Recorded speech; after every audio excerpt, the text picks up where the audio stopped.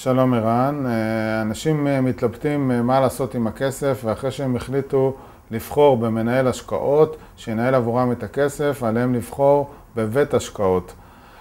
מספר בתי השקעות בישראל הוא רב. איזה קריטריונים או אילו קריטריונים היית ממליץ לאנשים לשקול בבואם לבחור את מנהל תיקי ההשקעות שלהם? ובכן, אמיר, יש כמה וכמה שיקולים וחשוב מאוד לעשות בדיקה והבנה מי מנהל לנו את הכסף וכיצד אנחנו פועלים. ראשית כל, אנחנו חיים בעולם עם שקיפות יחסית גבוהה. אנחנו יכולים לראות uh, נתונים uh, של uh, קופות גמל, של קרנות נאמנות, של קרנות השתלמות.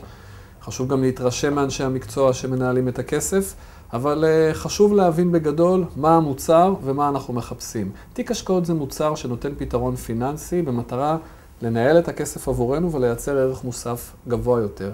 מי שמנהל אותו זה לא סוד, זה לא מכונות, זה אנשים.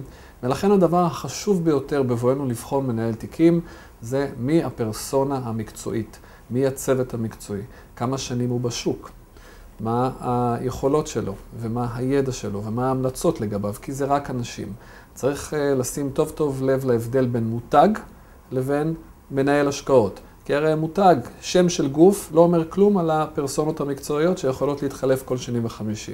לשבת עם מנהל ההשקעות, לשמוע איך הוא חושב, לשמוע איך הוא עובד, להתחבר לפילוסופיית ההשקעות שלו, מה רמת הסיכון שהוא לוקח, מה הוא ממליץ, כמה הוא נחשף לחו"ל, ותתפלא, אתה מכיר ויודע, אבל הרבה מהצופים יתפלאו שיש פילוסופיות השקעה שונות למנהלי תיקים.